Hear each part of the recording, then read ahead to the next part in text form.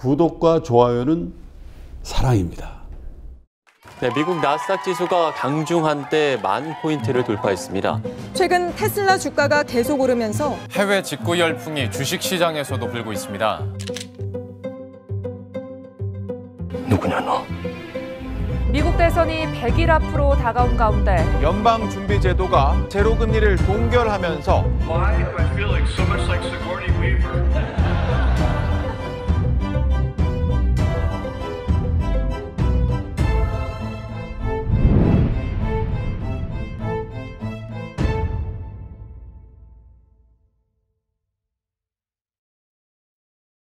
자 오늘 예, 역시 또 깔끔한 예. 군더더기 없는 이분 모셔야죠. 어, 증시 염탐정 아, 염승환 이베스트 투자증권의 영업팀 차장님 나오셨습니다. 어서 예. 오십시오. 네. 어서 오세요. 네. 아 우리 염 차장님에 대한 선호도가 요즘 팬분들 굉장히 좀 높아지고 있는 것 같습니다. 자 우리 염 차장님 일단 뭐 이슈부터 좀 체크를 해볼까요? 네. 음. 그 스마트폰 부품업계가 이제 코로나19 직격탄 받았다 뭐 이런 이제 기사들이 좀 있어서 좀 찾아봤는데 지금요? 그러니까 이- 뭐 이미 지나간 이슈긴 한데 네. 그좀그 의미 좀 좀 제가 공유 좀 해드리고 싶어가지고 좀 이제 말씀을 드리면 뭐 2분기 실적 안 좋은 거 뭐 다들 아실 거예요. 뭐 삼성전기, MC넥스, 뭐 파워로직스 같은 이제 대표 기업들이 뭐 실적들이 뭐 40%, 97%, 84% 이익이 급감을 했는데 네. 근데 이게 되게 아이러니한 건 또 삼성전자는 이쪽 사업부가 사실 매출이 부진한데도 이익이 늘어나 버렸거든요. 네. 그러니까 한마디로 이제 많은 분들이 그러면 이게 부품 단가 인하 한거 아닌가 이런 좀 우려감들을 좀 가질 수도 있는데 단가 인하는 사실 거의 없었다고 하고요. 음. 실제적으로 좀 원인은 어쨌든 판매 자체가 좀 그러니까 이 삼성전자가 매출이 안 나왔지만 어쨌든 비용 절감을 통해서 어쨌든 그 뭐 광고비라든가 이런 게 감소되면서 음. 이익은 괜찮았는데 매출이 안 나오면 당연히 부품회사 입장에서는 네. 당연히 수익이 날 수가 없는 거잖아요. 음, 네. 예, 일정하게 또 고정비도 나가야 되기 때문에 음. 그래서 안 좋은 건 사실인데 그래도 이제 좀 의미를 부여할 수 있는 건 뭐냐면 6월부터 좀 개선이 되고 있는 건 확인이 되고 있고요. 지난번에 네. 말씀드렸지만 인도가 역성장에서 플러스 성장으로 바뀌었고 또 미국 같은 경우도 지금 아이폰 판매가 좀 잘 되고 있어서 음. 3분기부터는 일단 좀 좋아지지 않을까 이런 좀 그림들이 좀 나오고 있어요. 근데 이제 많은 분들이 의아해하실 거예요. 어제도 어제도 그렇고 최근 이번 일주일 보면 스마트폰 부품주가 어, 3분기 좋다고 하는데 주가가 자꾸 빠진단 말이에요. 네. 힘들이 없어요. 뭐 네. 물론 반도체도 마찬가지인데 음. 힘들이 없는 건 아무래도 외국인 수급적으로 보면 외국인들의 IT에 대한 선호도가 좀 많이 떨어져 있습니다 지금. 계속 좀 팔고 있어요. IT 네. 업종 어제도 좀 잠깐 설명드렸지만 8월부터 어제까지 가장 많이 판 섹터가 외국인들이 일단 전기전자 네. 집중적으로 뭐 중소형주까지 다 포함해서 네. 그리고 하이닉스 이런 거 많이 파는 네, 거죠? 하이닉스도 굉장히 좀 많이 팔고 있고 그래서 이쪽 섹터 IT 하드웨어 쪽에 대해서 좀 선호도가 좀 많이 떨어져 있는 게 네. 일단 하나의 원인이고 그리고 어쨌든 그 이벤트가 또 종료됐잖아요. 갤럭시 노트가 이제 언팩 행사가 끝나버렸잖아요. 네. 사실 그 전에 좀 기대감들이 있었는데 물론 이번에 좀 기대감이 높은 만큼 잘 나오긴 한 것 같은데 항상 그렇지만 주가는 기대감이 있으면 또 그게 뉴스에 나오면 일단은 빠지더라고요. 그래서 이번에도 그런 기대감에 의해서 올랐다가 막상 이제 발표가 되니까 일단 뭐 이벤트 이제 끝난 거 아니냐 이런 이제 우려감이 나오면서 사람들이 다른 쪽으로 그냥 시선을 돌린 것 같아요. 그래서 예. 제가 봤을 때 정리를 해드리면 이게 꼭 문제가 있다. 저는 그렇게 보지는 않고 펀더멘탈상 문제는 크진 않은 것 같은데 음, 네. 뭔가 이제 이 당장 스마트폰 부품주를 우리가 사야 될까? 이런 좀 약간 뭐라 그러죠? 좀 섹시한 그런 매력이 좀 없는 것 같아요. 그 전에 비해서. 그래서 선호도가 상대적으로 떨어져서 지금 좀 약해졌는데, 근데 저는 제 개인적으로는 이제부터 좀 다음 주부터 좀 봐도 되지 않을까 이렇게 좀 말씀드리고 스마트폰 부품주. 예, 왜냐면 네. 일단 이제 내일 8월 15일 날 뭐 아시겠지만 미중 협상이 있잖아요. 예. 거기서 무슨 얘기 나올지 모르겠지만 지금 위챗과 틱톡 같은 경우 이제 트럼프 대통령은 일단 나가라. 미국에서 네. 나가버려라. 근데 그렇게 되면 애플 앱스토어에서 삭제가 되면 중국 사람들이 다 위챗을 쓰는데 음. 아이폰 사용자들은 이제 어쩔 수 없이 갈아타야 되거든요. 음. 방법이 없어요. 네. 앱스토어를 못 쓰게 되면 그 위챗을 쓰기 위해서 뭐 실제 뭐 그런 뭐 데이터들도 나왔다고는 하는데 뭐 중국 사람들은 일단 갈아탈 가능성이 굉장히 높다고 네. 합니다. 안드로이드 쪽으로 그렇게 되면 뭐 물론 중국에서 삼성전자의 존재감은 거의 없어요 사실. 없는데 이번에 뭐 근데 더 이상 뭐 나쁠 건 없잖아요 사실 이 뉴스 자체는 삼성전자 입장에서는 음. 사실 나쁠 게 없는데 반도체 섹터로 보면 좀 악재긴 하겠죠 근데 음. 그렇지만 스마트폰만 놓고 보면 삼성이 중국에서 굉장히 뭐 애플한테 엄청난 열세인데 음. 일단 어느 정도 파이를 좀 가져올 수 있는 room은 좀 만들어 놨다. 음. 그러면 그 기대감만으로도 스마트폰 부품주는 일단 움직일 수 있어요. 또 최근에 좀 빠졌기 때문에 네. 거기다가 이제 다음 주에 갤럭시 노트 20가 나오거든요. 8월 21일 날 이미 이제 그 오늘부터 사전 예약 들어갔고 음. 네네네. 이제 오늘 일부 개통되는 곳도 있다고 하더라고요. 음. 또 9월 1일 날이 중요한데 그때가 이제 갤럭시 폴드 2가 네네네. 출시가 되는데 아, 저도 솔직히 좀 심각하게 지금 고민 중입니다. 한번 사볼까. 아, 그렇습니까? 굉장히 잘 나왔더라고요. 아, 폴드. 네, 폴드로. 네. 네, 이게 어쨌든 화면도 커지고 이번에 좋았던 게 예전에 좀 불만이 이 앞에 이걸. 접었을 때 화면이 너무 작다. 네, 근데 네. 이번에는 굉장히 또 크게 나왔기 때문에 네, 네. 반응들이 되게 좋다고 하더라고요. 그래서 음. 9월 1일 날까지는 좀 괜찮을 것 같아요. 이게 이벤트가 끝난 건 아니기 때문에 네. 또 혹시라도 매진이 또 된다라면 또한 번에 또 이벤트가 될 수 있기 때문에 예. 지금 시점에서는 오히려 좀 아무도 안 갖, 안- 관심은 안 갖고 있지만 음. 한번 이쪽도 좀 이런 기사들을 통해서 좀 한번 눈여겨 볼 필요는 있을 것 같아서 예. 좀 말씀을 드려봤습니다. 네. 대체로 시장에서는 이 저 갤럭시 뭐 폴드나 아니면 저 말씀하신 신제품들이 괜찮다고들 판단을 합니까? 예, 그 갤럭시 노트 2도 지금 뭐 사전 예약은 뭐 대부분 다 매진이 됐고 아, 그래요? 예, 반응들은 괜찮더라고요. 어, 그렇습니까? 그러니까 이제 뭐 평가에 따라 다를 수는 있지만 또 갤럭시 폴드 2가 좀 기대했던 것보다는 잘 나와서 음. 이번에 아마 좀 기대감이 좀 높지 않을까 이렇게 좀 보고 있습니다. 폴드. 네. 자, 그리고 셀트리온 삼형제가 어떻게 합치는 거예요, 다시? 어, 합병한다고 그랬잖아요. 저 네. 서명진 네. 회장이 벌써 꽤 오래 돼, 네, 이미 기자회견. 했었죠. 뭐 이제 수술을 밟아가는 모양이죠. 어제 갑자기 그래서 많은 분들이 셀트리온 헬스케어랑 셀트리온 갑자기 급등을 했잖아요. 네. 이게 무슨 일인가 다들 좀 찾아보셨을 텐데 결국에 이제 장 끝나고 아니 그 장 중에 아마 조회 공시가 떴는데 예. 조회 공시상에서 이제 합병은 검토 중인 건 맞는데 예. 아직은 시기는 확정되지 않았다. 그러니까 법률과 세무 문제 이런 검토가 끝나야 된다. 음. 이런 좀 내용이 있는 것 같습니다. 그래서 합병을 하기는 할것 같아요. 어쨌든 네. 서정 회장도 분명히 약속을 했기 때문에 합병을 할 텐데 어쨌든 이제 이런 검토를 좀 완료를 해야 되니까 언제쯤인지는 시기는 좀 아직은 좀 결정된 건 없습니다. 근데 예. 이제 실무 절차가 만약에 이게 다 완료가 되면 음. 3개월 내에는 좀 합병이 가능하다. 이렇게 좀 나와 있고 어쨌든 합병을 하면 되게 좋을 수밖에 없죠. 지금 시장에서 가장 오해를 많이 했던 게 음. 셀트리온에서 만든 걸 단지 셀트리온 헬- 헬스케어에 받아다가 판매만 하잖아요. 그렇죠. 거기에 따른 뭐 예전에 분식회계 뭐 우려라든가 예. 이런 게 되게 심해서 예전에 막 공매도도 굉장히 극심했었고 예. 과거에 근데 이제 어쨌든 그런 논란들을 완전히 잠재울 수가 있는 거죠. 이 음. 합병을 통해서 네. 이 세 개 회사죠. 셀트리온, 셀트리온 헬스케어, 그 다음에 이제 제약. 셀트리온 제약까지. 예. 그래서 이쪽까지 다 합병을 해버리게 되면 네. 굉장히 좀 의미 있는 그런 이제 모멘텀으로 작용할 수가 있고 또 이 세 회사 지금 합병하게 되면 음. 현재 기준으로 시총이 61조가 돼요. 그러면 오. 무슨 얘기가 되냐면 하이닉스를 이기거든요. 하이닉스가 지금 58조니까 시총 2위네요. 예, 시총 2위로 아, 바로? 올라서야 됩니다. 아니, 그래요? 네, 합치면 그럼 이 이제 세 세, 세 회사가 있잖아요. 네. 이게 대장이 누구예요? 셀트리온? 셀트리온 셀트리온이죠. 셀트리온이고 셀트리온 헬스케어 그러니까 좀 설명을 해드리면 셀트, 셀트리온이라는 바이오시밀러 회사가 있는데 있고. 이 바이오시밀러를 만들죠. 네. 그러면 이제 예를 들면 그 제약 회사니까 이게 병원이나 이런 데 팔아야 되잖아요. 음.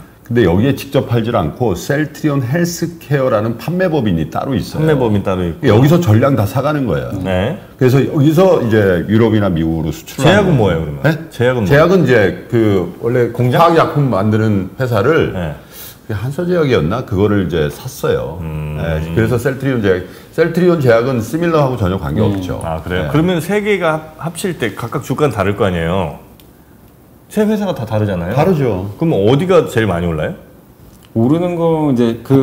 그 당시 시가로 좀 평가를 하는데 네. 그건 이제 M&A 할 때 그 가치 평가에 좀 다를 수는 합병 있는데 비율 같은 걸 또 해야 네, 되는군요. 그렇죠. 예, 그걸 좀 아. 따져봐야 되는데 근데 네. 이게 뭐가 좀 재밌냐면 네. 사실은 이제 증권가에서는 가장 호재를 셀트리온 헬스케어로 봐요. 왜냐면, 헬스케어? 예, 예. 왜냐면 셀트리온 헬스케어를 서정진 회장이 35% 가지고 있거든요. 음. 그리고 셀트리온을 셀트리온 이제 홀딩스랑 그 지주사가 있어요. 네. 지주사가 20% 음. 갖고 있는데 그 지주사 셀트리온 홀딩스를 또 서정진 회장이 가지고 있습니다. 그러니까 네. 사실 서정진 회장 입장에서는 지금 셀트리온 지분은 없어요 거의 없기 때문에 음. 무슨 얘기냐면 셀트리온 헬스케어랑 만약에 셀트리온이 합병을 했을 때 예. 본인이 지분이 없는 회사가 주가가 낮을수록 유리합니다. 음. 왜냐하면 셀트리온 헬스케어는 지분이 많잖아요. 그렇죠. 그러면 셀트리온 헬스케어 주가가 오를수록 아. 자기가 없는 게 낮을수록 나중에 합병했을 때 지분율이 오. 올라갈 수가 있어요 많이. 근데 만약에 삼- 이게 삼성바이오 그것도 이렇게 네, 된거 맞아요. 뭐, 그죠? 뭐 삼성전자 뭐 그런 아, 삼성 물산하고. 예. 네. 그래서 이게 이런 합병 뉴스 나오면 항상 아. 셀트리온 헬스케어가 더 많이 올라가요. 아. 왜냐면 이제 이런 뉴스가 사실 이거는 어떻게 보면 하나의 또 소설일 수도 있어요. 근데 이제 그 지분 구조를 보면 내, 그 만약에 서정진 회장의 입장이라면 네. 당연히 셀트리온 헬스케어가 많이 올라가는 게더 네, 좋거든요. 네, 네, 네. 아. 그런, 네. 그래서 이제 그런 좀 움직임들이 항상 이제 합병 이슈 나올 때 움직입니다. 그래서 소설이 아니에요, 지금 네. 들어보니까. 소설이 현실이 되고 있습니다, 지금. 네. 그래서 이게 셀트리온을 오히려 주가가 낮을수록 더 좋기 때문에 네. 그런 좀 이슈들이 있는데 어쨌든 합치면 좋죠. 세 개 다 뭐 좋다고 보는데 그 지분 구조상으로는 셀트리온 헬스케어가 더 유리는 하다. 이렇게 좀 생각을 네. 해주시면 좀 이미 좋을 많이 것 올랐나요, 혹시? 주가는 많이 올랐죠. 이미? 예, 근데 이미 많이 어제도 좀 움직였어요. 아, 어제 그래요? 셀트리온 헬스케어가 갑자기 장중에 아. 굉장히 크게 오르더라고요. 네. 예. 근데 이제 사실 이걸 떠나서라도 저는 뭐 셀트리온 그룹은 그러니까 사실 많은 분들이 예전부터 셀트리온 그룹에 대해서는 다들 또 조심스럽게 얘기하고 네. 또 뭐 이슈들은 좀 있었지만 저는 그냥 팩트만 얘기할게요. 네네. 어쨌든 좋게 봐야 될 것 같아요. 왜냐면 숫자만 보면 음. 숫자는 너무 좋습니다. 아 근데 사실 뭐 실적 시즌이니까 헬- 네. 그 셀트리온 헬스케어가 실적 공시를 했는데 네. 올 2분기에 868억 원 영업이익을 공시했거든요. 네. surprise예요. 네, 너무 예, 그러니까 사실 에, 합병 이슈 때문만 오른- 올- 네. 올랐다기보다는 에, 실적이 좋게 나오는 것들도 이제 반영한 거죠. 예. 아, 이제 제가 가능하면 이제 헬 들어가는 걸안 하려고 이제 제 준비 중이었는데 아, 다시 고민을 좀 해봐야 되겠네요. 아 헬이 들어가는구나 아, 여기 헬이. 헬스케어에. 셀헬. 아 네, 그래서 제가 헬차는 가능하면 제 관심 종목이 다 빼거든요. 그런 그런 비논리적인 그 터보 이런 걸 만들지 마세요. 아, 그럴까요? 예. 알겠습니다. 음. 일단 숫자도 좋고 이익률도 좋고 그리고 예. 셀트리온 그룹이 그리고 제가 이게 느꼈던 게 참 되게 이 경영진이 머리를 잘 쓰는 것 같아요. 뭐냐면 램시마 네. SC라고 많이들 들어보셨을 거예요. 램시마 네. 말고 네.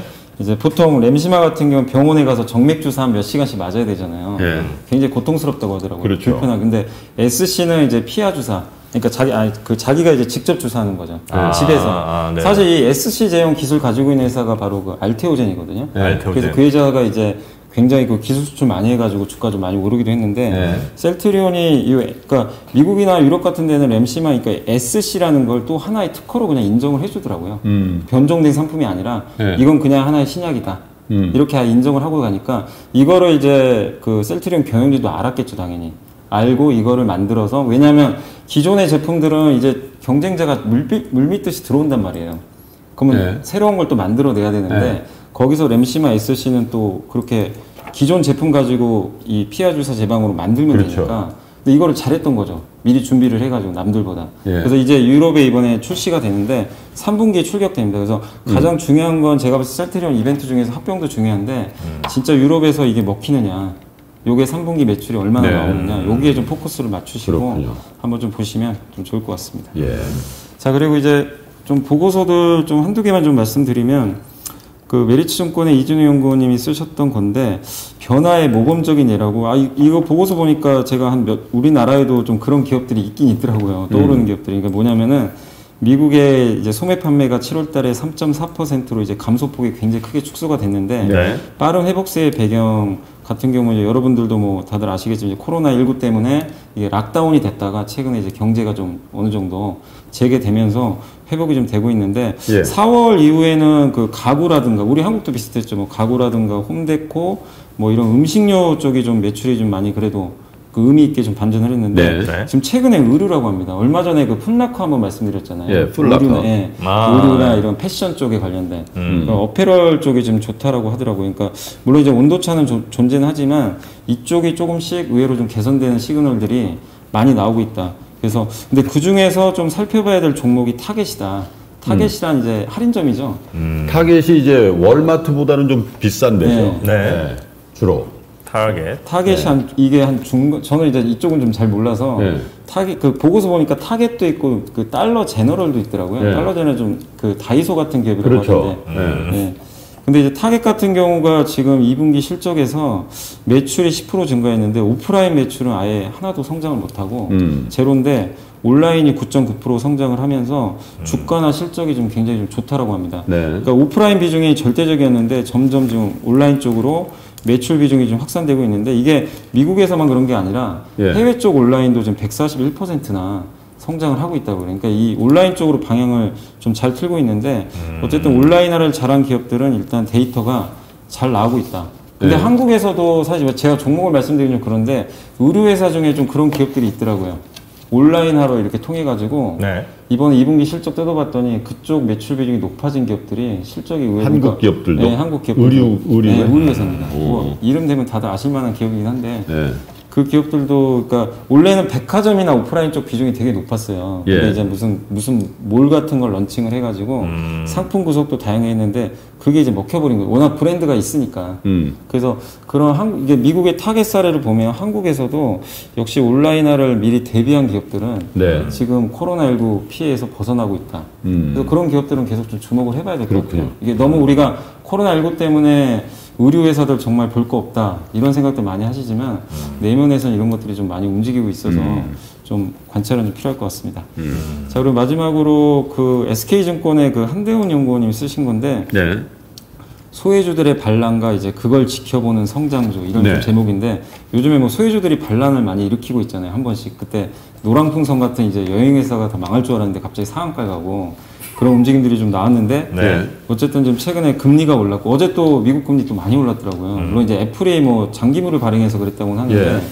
어쨌든 이제 금리가 좀 올라가면서 이 경기 민감주나 좀 소외받았던 기업들이 좀 더 가지 않을까 이렇게 좀 보고 있는데 네. 이 SK증권에서는 그렇게 보지는 않는 것 같습니다. 일단 추세 반등은 아니고 음. 좀 일시적인 그 흐름이다. 어차피 장기적으로 저금리는 누구나 알고 있기 때문에 네. 구조적인 금리 상승은 좀 불가능하다. 그래서 일단은 중장기적으로는 여전히 성장주, 언택트나 바이오를 보되 단기적으로는 가치주, 민감주가 낫다. 근데 음. 그 중에서도 꼭 집었습니다. 예, 어제 말씀드렸지만 중국의 양재츠 외교 담당이 다음 주에 오잖아요. 그러죠. 그래서 중국 소비자 한번 보자.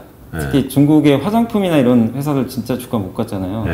근데 보니까 일부 기업들은 또 실적 괜찮더라고요. 네. 중국 소비주 내에서도 그래서 연내 시진핑 오늘도 아까 기사 보니까 한국에서도 좀 적극적으로 방안 논의한다고 하는 것 같아요. 양재치가 온다는 거는 뭐 시진핑의 방안을 어떻게 보면 예고하는 사전 조율하기 위해서 오는 거다. 예.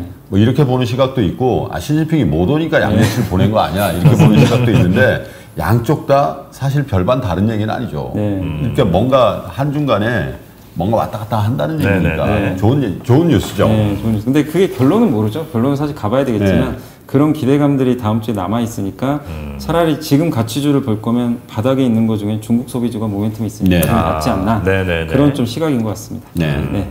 이상입니다. 자, 오늘 일정 뭐뭐 있습니까? 오늘 이제 11시 정도에 중국에서 7월 소매 판매 산업 네. 생산 발표되는데 중국이 어쨌든 코로나에서 빠르게 벗어나는데 진짜 지표 잘 나오는지 한번 체크해 보시고 근데 홍수 피해가 좀 있어 가지고 예.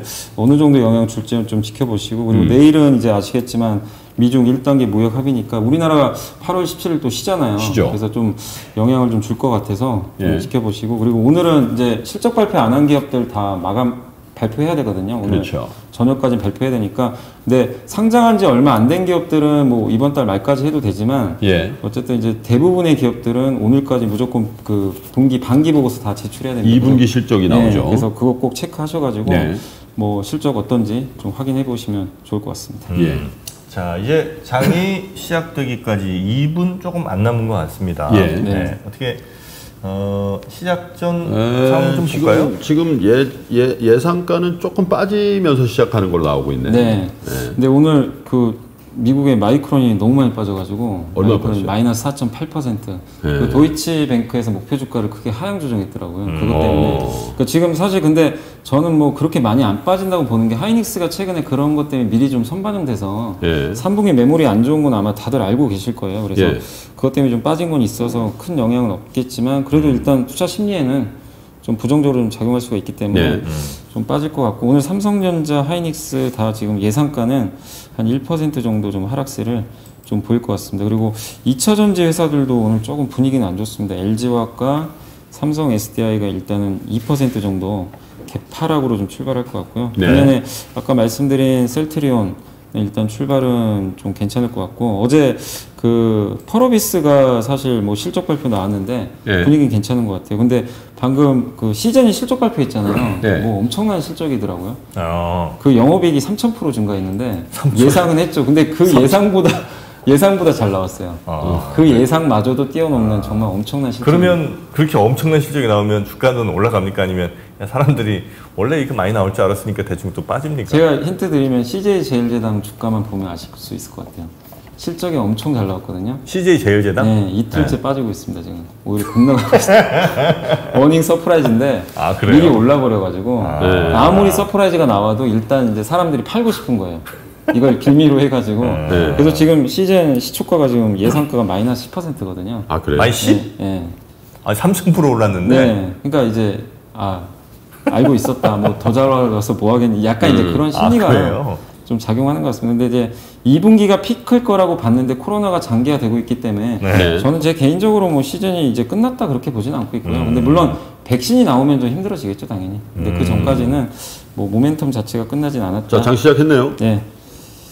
자, 오늘 지수는 6포인트, 코스, 코스피는 6포인트 정도 하락세로 음. 일단 좀 출발을 할 것 같고요.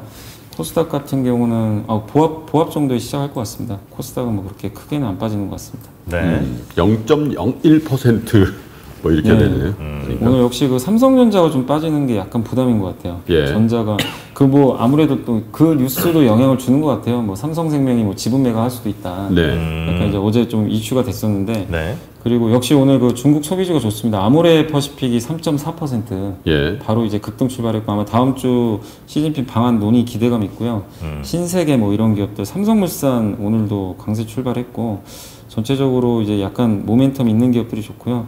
그 다음에 아까 말씀드린 대로 2차 전지, 그 다음에 미국에서 은행주가 좀 빠져서 KB 금융 같은 이제 금융주도 오늘은 좀 코스피 쪽에서는 약간의 예. 약세로 음. 시작을 좀 한 것 같습니다. 그래서 네. 전체적으로 지금 코스피 쪽은 약간 이제 이 무거운 기업들이 좀 빠지다 보니까 약간 좀 쉬어가려는 그런 움직임들이 일단은 좀 나오고 있다. 이렇게 좀 보시면 좋을 것 같고 네. 그래요. 반면에 이제 코스닥 같은 경우는 지금 HLB나 아까 말씀드린 그 시젠 같은 이제 대표 바이오 기업들이 네. 좀 많이 지금 충격을 좀 받고 있어서 네. 좀 빠지는 분위기고 좀 올라가는 기업 중에서 요즘에 엔터사들 좀 주가 좋잖아요. 그래서 예. SM이나 JYP 엔터 같은 그런 이제 기업들은 상승세 보이고 있고 아까 이제 스마트폰 sector도 잠깐 말씀드렸는데 이제 foldable phone 관련 기업인 뭐 KH 바텍이라든가 예. 파트론 음. 이런 기업들은 약간 이제 반등하면서 시장을 해주는 것 같습니다. 그리고 오늘 뭐 어쨌든 제일 많이 빠지는 건 일단 씨젠이 가장 좋은 실적인데 그러니까 많은 분들이 참 진짜 이 염탐정 맞아. 네. 예? 많은 분들 가슴을 후벼 네. 파셨네요. 네. 원래 그렇게 물어보면은 오르고 내리고 반반이잖아 반반 가능성이 그러면 말끝을 흐리거든 하, 글쎄 그걸 누가 알겠어요 뭐 이런 식인데 염탐정 CJ 보시라니까요 아무렇지도 않게 얘기를 해버려 네.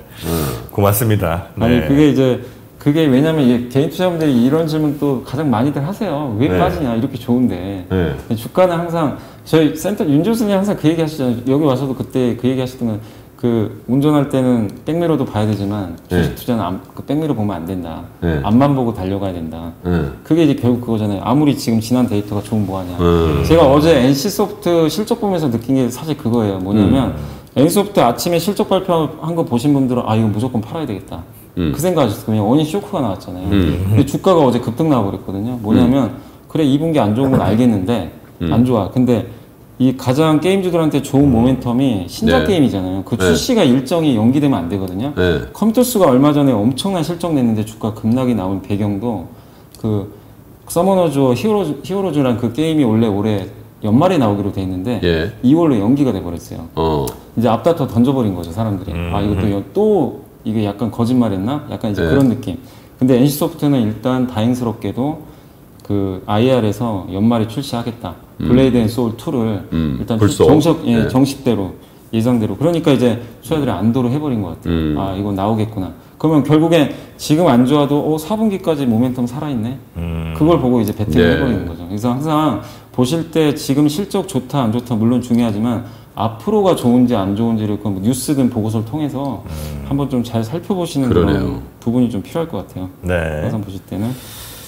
자 그리고 수급은 오늘도 뭐 말씀드릴 건 없습니다. 똑같습니다. 항상 개인만 오늘도 사고 사고. 있는 음. 일단 그런 모습이고 마지막으로 섹터만 좀 간단하게 네. 좀 말씀드리겠습니다. 오늘 글쎄요 오랜만에 이마트가 지금 5%나 급등하네요. 음. 이마트, 롯데지주 이쪽 관련된 기업들, 그러니까 약간 이제 할인점 회사인데 음. 모르겠습니다. 이게 뭐 타겟 효과인지는 모르겠는데 네. 어쨌든 오늘 이마트도 한 5%. 사실 이마트도 저번에 한번 그 신선식품 얘기 한번 해드렸죠. 물가 네, 뛴다고. 네, 네. 예. 그래서 좀 괜찮지 않을까 싶긴 했는데 뭐 그런 것도 있겠지만 온라인 쪽으로 어쨌든 드라이브를 잘 걸고 있는 것 같아서 예. 좀 굉장히 좀 좋은 분위기 나와주는 것 같고요. 네. 그다음에 오늘 뭐 보톡스 관련주 아마 파마 리서치 때문인 것 같은데 파마 리서치가 예 맞네 6% 올랐는데 실적이 되게 잘 나왔더라고요. 근데 예. 파마 리서치 같은 경우도 사실 뭐 코로나 수혜주라고 하더라고요. 음. 많은 분들이 집에서 재택근무하고 그다음에 이제 대학생들이 어떻게 보면 이제 집에서 이제 원격 그 교육을 받다 보니까 네. 시간이 많이 남잖아요. 아, 그래서 보톡스 맞아요? 피부 미용 같은 걸 할 시간이 왜냐면 그거 한 번 하고 나서 아. 뭐 사실 성형 수술 같은 거 하면 네. 그 만약 직장인분들 같은 경우는 최소 일주일 이상 아, 휴가 내야 되는데. 네, 내야 돼. 휴가 낼 필요가 없네. 그래서 이게 엄청나게 요새 그 코로나 때문에 예. 좀 문전 성실 이루고 있다라는 좀 소문이 들리고 이게 있습니다. 그렇게 되나? 우리는 네. 야, 경기도 안 좋은데 누가 그 보톡스 맞겠나 이렇게 그래서 생각하는데. 요새 이제 피부 미용 쪽이 되게 좀 어. 맞아요. 성형외과 잘 된대요 요즘에. 네. 어, 그래요? 그런 또 이슈가 있다고. 예. 그래서 이 치과가 아주 안 남자분들은 좋대요, 치과. 치과? 예. 왜요? 아, 치과 입 벌리고 뭐 있어야 되니까. 아, 치과 안 좋대. 네네 네. 의사들 중에 치과가 안 좋대. 그래서 이게 하나의 좀 트렌드가 됐고 근데 그런 저는 뭐 제가 나중에 맞을지 모르겠는데 보톡스 맞으신 분들은 한 번 맞으면 절대 다시 끊을 수가 없다고 하더라고요. 아, 그래요? 그러니까 아예 안 맞아도 한 번 맞으면 진짜 그래요? 계속 맞아야 된다. 그런다고 하더라고요. 안 맞은 사람은 있지만 한 번 맞은 사람은 없습니다. 예, 예. 그런다고 하더라고요. 그 효과 있어요? 보톡스요? 네. 보톡스는 모르죠. 안 맞았어요? 뭐 필러나 뭐 보톡스 이런 거 있잖아요. 맞은 줄 알았지. 갑자기 저한테 그러세요. 네. 예. 하여튼 그렇고 오늘 빠지는 쪽은 아까 말씀드린 대로 그대로인데 2차 전지 그리고 자동차도 좀 요즘에는 약간 뭐 아무래도 현대차도 음. 가격에 대한 좀 부담들이 있어서 네. 그런지 약간 자동차 섹터도 오늘 좀 쉬어가면서 전체적으로 좀 지수는 좀 쉬어가는 분위기 같습니다. 코스피 네. 빠지고 코스닥 좀 올라가고. 음. 그럼 제가 또 슬슬 움직일 때 됐군요. 네. 그러네요. 지금 코스닥이 0.35%, 네. 코스피가 0.5%장 초반 하락세를 보이고 있군요. 네. 한번 움직여 보겠습니다, 제가. 네. 음. 자, 오늘 염 차장님과 함께 또 깔끔하게 정리해 주신 그 시간이었습니다. 자, 이베스트 투자증권의 염승환 차장님 한 주 동안 너무 고생하셨고요. 특히 뭐그 연구원들의 그 리포트 같은 거 일일이 다 음. 매일매일 이렇게 읽으셔서 저희한테 전해주시는 게 진짜 너무 감사합니다. 네. 오늘 함께 해주셔서 대단히 고맙습니다. 다음 주 월요일 하루 쉬십시오. 네, 알겠습니다.